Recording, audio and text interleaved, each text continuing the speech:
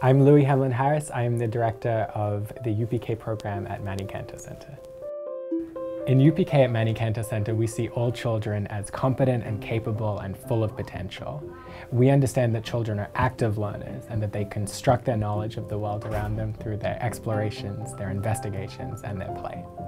We see our teachers as question askers and not question answerers, and we use documentation to involve families in the conversation around curriculum and planning We have two little girls, and it's really nice to see how they've made meaningful relationships.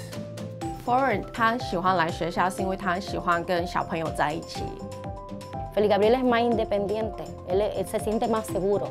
Para mí es muy importante. Our free UPK program is open to all families, and we offer an optional extended day to meet the needs of working parents.